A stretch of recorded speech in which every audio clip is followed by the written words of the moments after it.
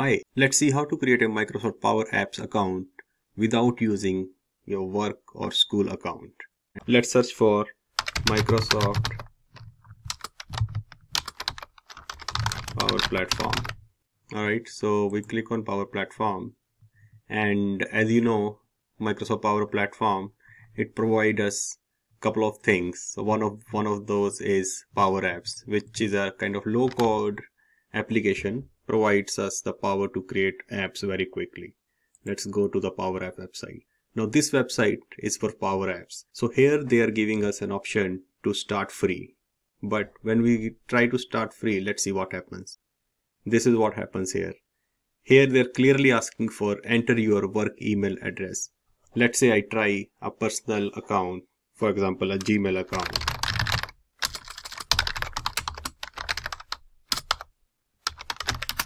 see we get this error. So this does not let you pass here from without providing a your work address. So how do we solve this if you don't have a work address or you don't want to use your work email address? So one way to do that is using the power of azure. So if you have an azure account what you can do you can create a user. Let's say how do we do that? We'll go here go to users and let's say I create a new user. And I say test power account and that will be the domain name. And let's say test test test auto generate password let me create one. And I created a user. So now this is the user which I created.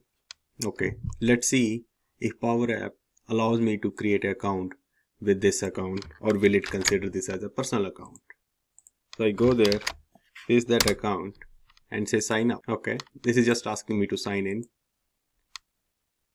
So let's say i sign in with the password which i created while creating this account. That's it. And we are able to sign in to power apps.